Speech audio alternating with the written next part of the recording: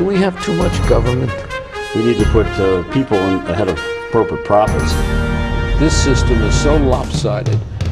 This threat is a real threat to democracy. And I think that's really important. That's something we haven't been doing in this country for a long time. Where do you start? What do you do? How do you do it? Access to Democracy and other Eagan community television programming is supported by Thomson Reuters, makers of Westlaw Next and based in Eagan. Through Westlaw Next and other innovative online services, Thomson Reuters is the world's leading source of intelligent information for businesses and professionals. Online at thomsonreuters.com. And by U.S. Federal Credit Union the member owned financial institution offering service, value, and experience you can trust to the greater Twin Cities community.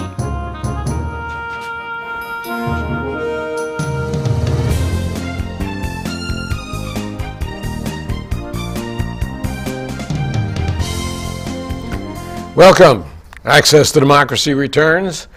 As usual, I'm your host, Alan Miller, and we have a first time guest today, Mark Levine. Mark, welcome. Hey, thanks for having me. He wears numerous hats Hillcrest Media, Mill City Publishing, uh, Click Industries, all of which he's going to tell us about with a little background.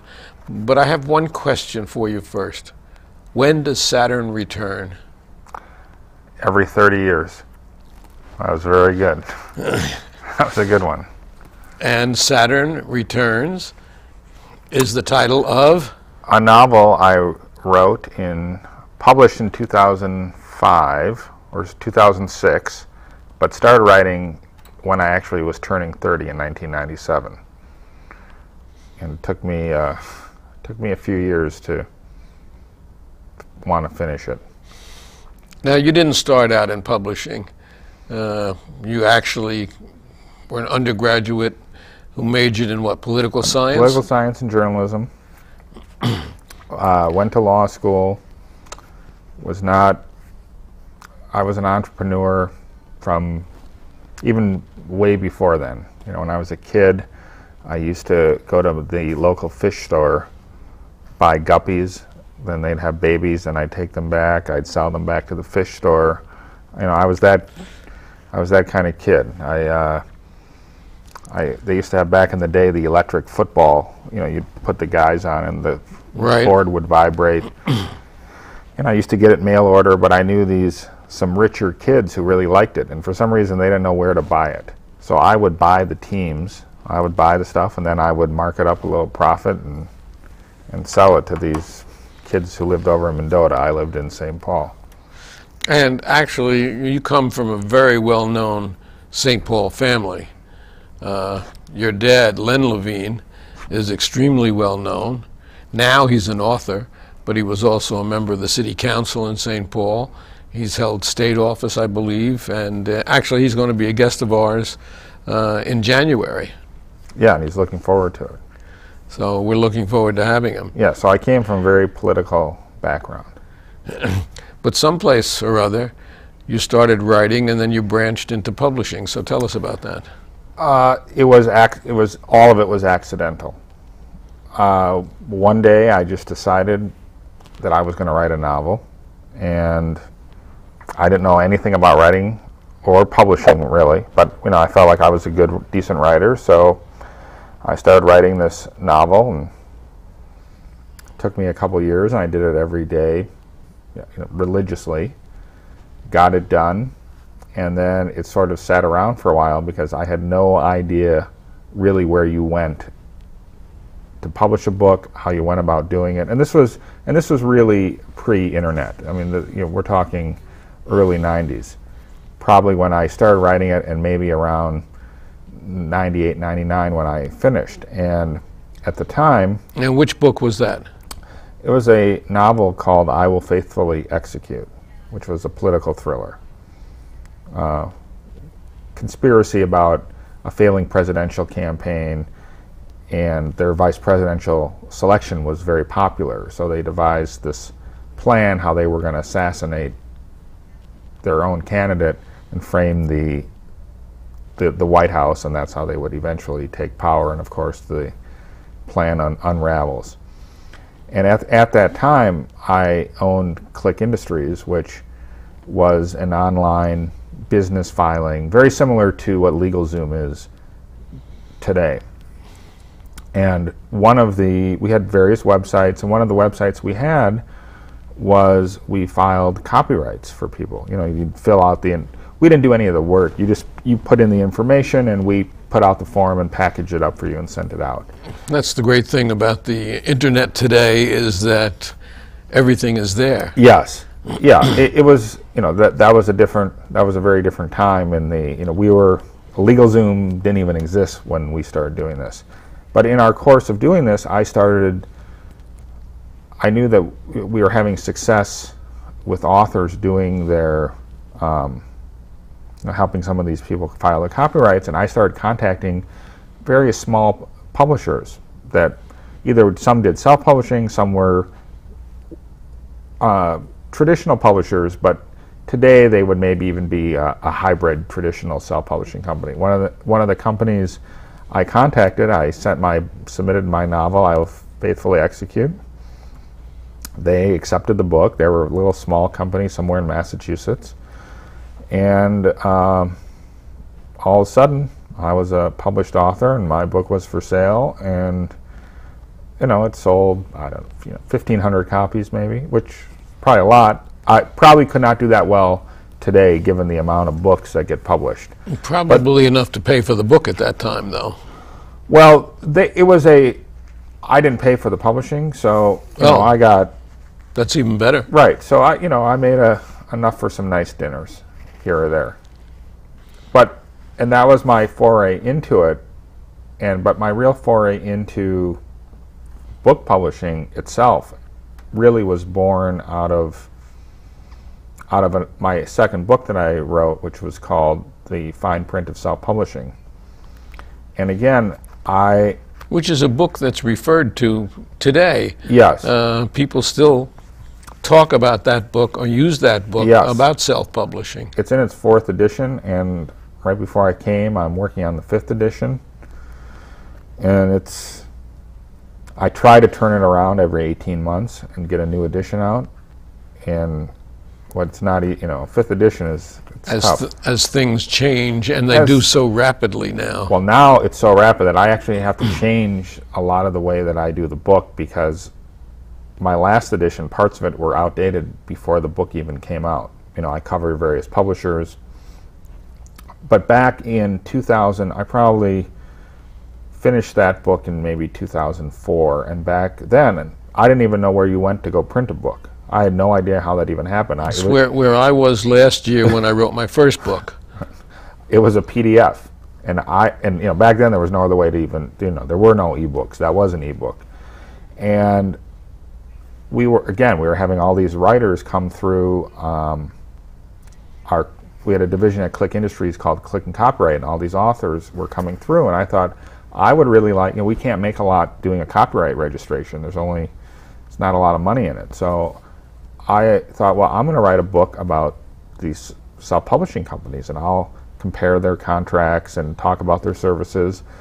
And in 2004, I mean, self-publishing was not even a blip on anyone's radar. It was barely, it was out there, and there were some companies that did it, but there wasn't, there wasn't much happening. And yet, And- if you pick up Writer's Digest today, uh, It's all self-publishing. yeah, Every, I mean, you have to beat them off with a stick.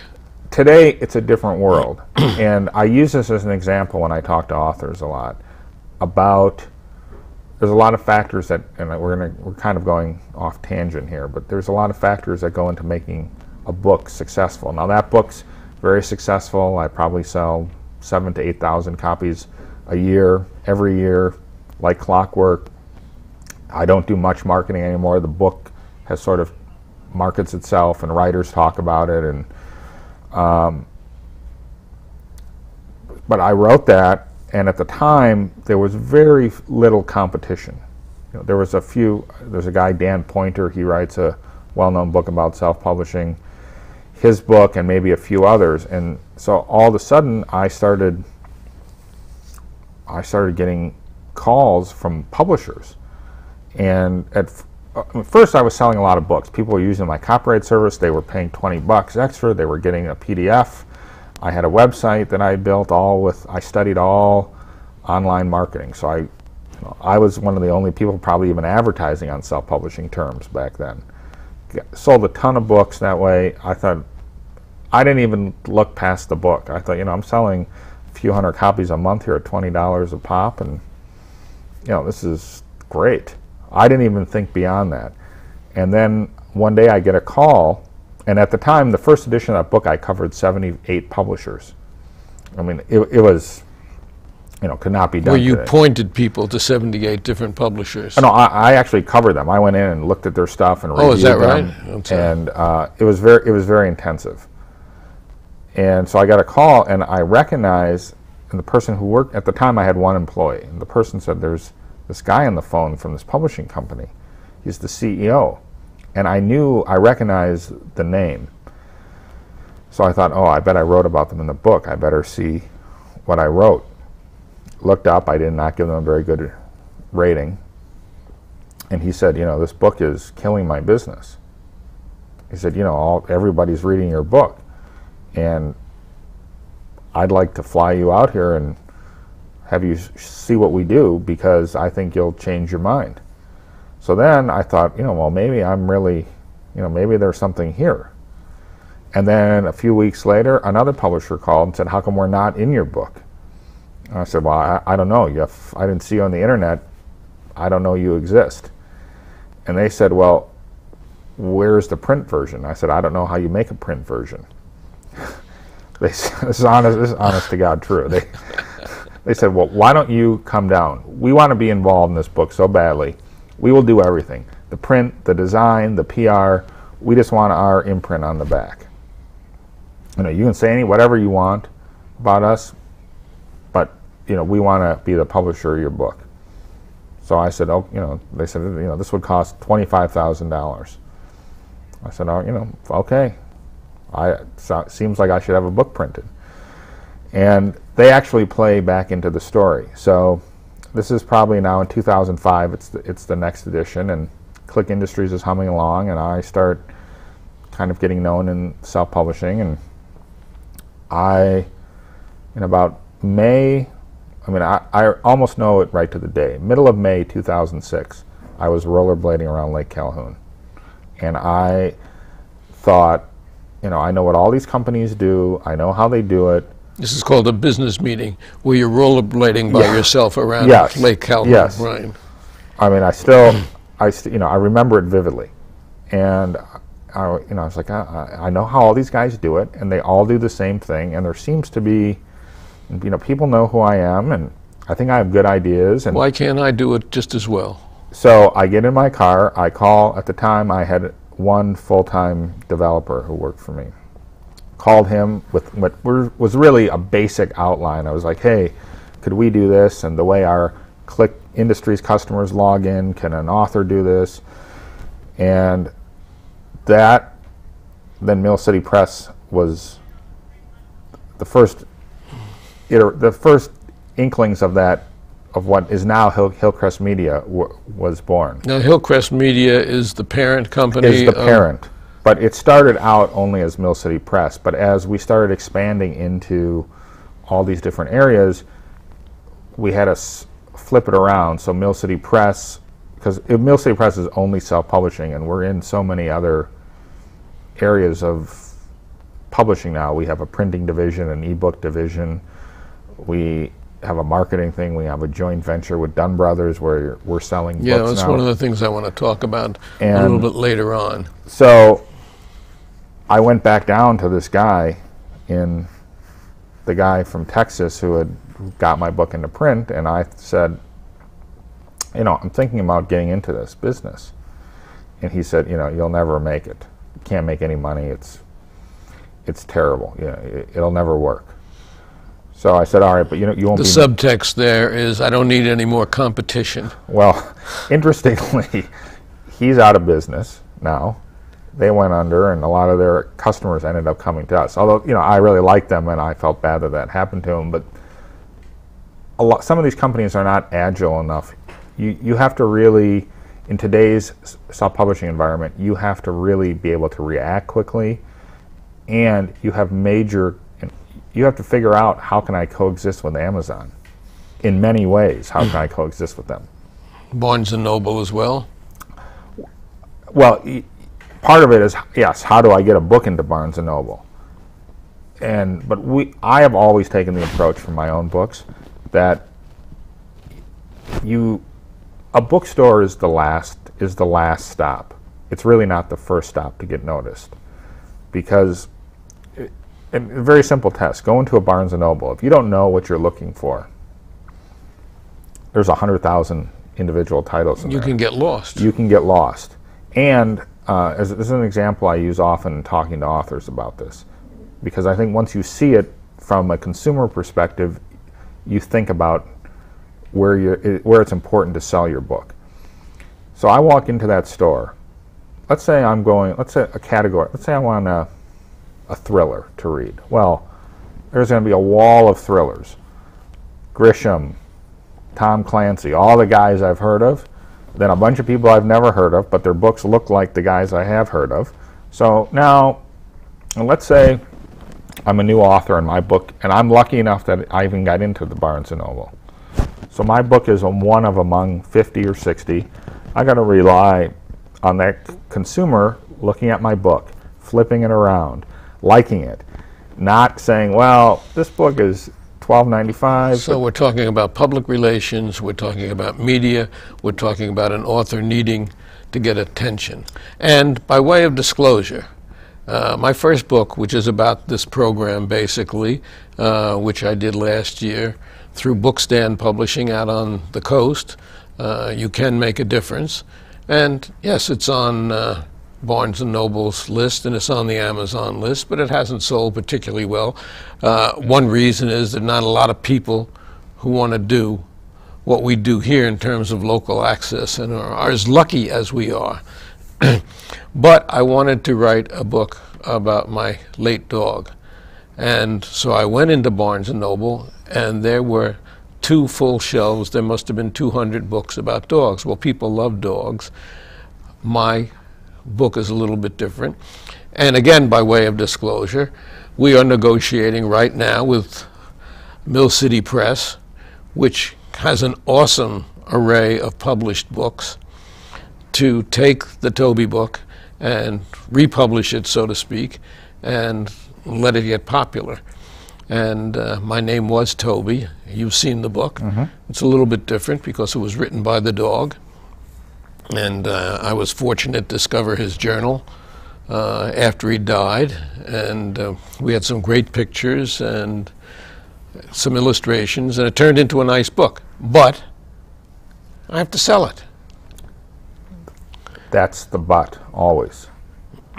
it's it's even even me. You know, we started out talking about Saturn Return. Yeah. And Saturn Return was was a great example of the pre-publishing house owner. I mean, the pre-publishing house version of me. Uh, Saturn Return was the first book our our company ever did, and that we still own Click Industries, and we sold Click Industries was sold about almost four years ago now. But at the time, we still owned it, and it was you know it was like, hey, we're gonna do the self-publishing thing, so we need a book to try. I just written this book. Let's figure out how to put, you know, how to lay this out, how to make a cover, and and you know back then I knew a lot about search engine marketing and optimization and online advertising and things we still do today. And I thought, well, this will be easy. You know, I'll do this. I'll put the book on Amazon. I'll just sit back. This is a no-brainer. And that's it. Doesn't work that way. I was just going to say it doesn't work that way. Uh, now, for my book, The Fine Print, it does work that way, but only because my book has been out for a long time. People know about it, so people come and buy it, and then the more you buy it, the higher it shows up for certain searches And word of on mouth also. And so, so that book is not always, a, you know, t- if I did that book today, this exact same book, it would not have the the power that it has, uh, you know, that all these previous editions and those other things give to it. And so one of the things that we really thought about the most in in what we do at Hillcrest Media is how can we help books get discovered because that is the you know any self-publishing company can take a file and give it to a printer. I mean, you did that with your book with Lulu. I mean, that that's a Yeah. now how the book looks, how the formatting is, how the cover is designed, those things those things can all make a difference. You go, you know, you pay there's self-publishing companies out there you can pay $500 to. Well, I was very lucky. I worked with Avi Mashar, who was very talented in that regard, and took the words and the pictures, et cetera, and put them into a really attractive book. But selling 60 copies of it is not really uh, what I envisioned. So we get to the next question. Uh, what are the advantages of self-publishing? And for instance, with my book, what do I have to look forward to? Well, the advantages are the biggest advantage is one, if it works, you control everything. And of course, that, that that's a big if. But if you were going to go on a traditional publishing route today, likely what would happen is a publisher, if a publisher was even interested, and remember, with the consolidation of the industry and um, what's happening in big publishing, there aren't even that many opportunities for new authors now. But let's say they did take it. They might say, okay, you know, we'll, we're going to take it, but you have to go pay to market the book anyway. So now you're putting money out and you're making maybe, if you're lucky, 7 or 8% of the sales price. So the advantage in the self-published route is, you know, yes, you up front you're taking more expense, but you're still going to be paying the same marketing expense that a publisher would probably make you pay. and if it works, you've got all the rights, you've got all the success, and you really can sell a lot fewer books than you would have to if you were with a traditional house to make the same amount of money. And uh, you know, certainly, if you can control the places where you sell, you know, like if you can sell from your website, even even if you're self-published and you sell it from your website versus selling on Amazon, for me to sell my book on my website, that's equal to four sales on Amazon, just one book because I don't Amazon's not cut in. I don't have to cut in a You know, by the time you get it back, you're making a dollar or two Right. dollars a book, which for a book that sells for about twenty or twenty-two dollars uh, is not a lot of money. Do you think that the print media is doomed because of ebooks. because of ebooks? I don't think it's I don't think it's doomed. I think it's it I think it's affected permanently. It's ebooks now about 20% of the people who read books now only read ebooks. So I'd say it's it's not doomed, but I think as in another 30 years those percentages are going to keep fluctuating. For now, it's probably leveled off. See, the Toby book just miraculously appeared Right. in front of us, which is incredible. Uh, this is not a book that will lend itself to an ebook. It's a four-color book. Uh, it's not a print book. Actually, those lend themselves to ebooks even better Do they? because you can lay them out so they so they look like this does on the inside, and the costs of producing that as an ebook are much cheaper with all the vibrant color and it, it's those kind of books. Well, any book really today can lend itself to an ebook. The technology. So we have a whole new world to explore with this book. absolutely. Uh, and uh, well, that's good to know. Now you have a big operation there. Mill City Printing is a very impressive operation. I guess Hillcrest, is in the same building. Uh, you've got your public relations. You've got your people who arrange the printing. You've got artists. You've got a little bit of everything. Yes. And so you have grown to how many employees? We just hired our 31st person last week. And you've published a lot of books. We publish a lot. I mean, well, we touch the publishing process of a lot. Yes. because some we actually publish ourselves, like a traditional publisher would. Uh, I think, uh, you know, we've Don Shelby put out a book last year. We we were the publisher where we got the rights. Uh, Jason Lewis, the talk show host, we did his. We're doing one on the Supreme Court nomination process.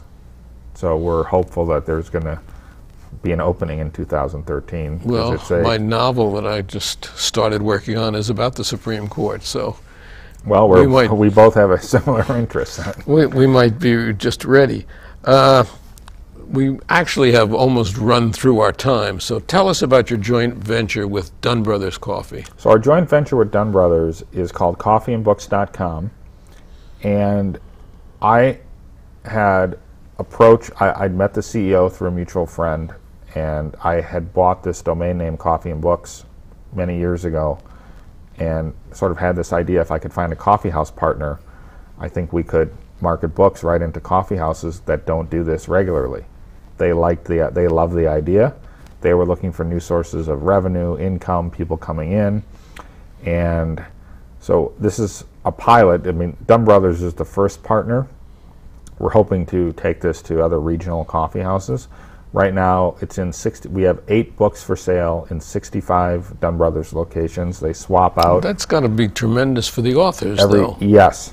Now some of the, you know, some of them, some of our partners in that are traditional publishers. So like University of Minnesota Press, Milkweed.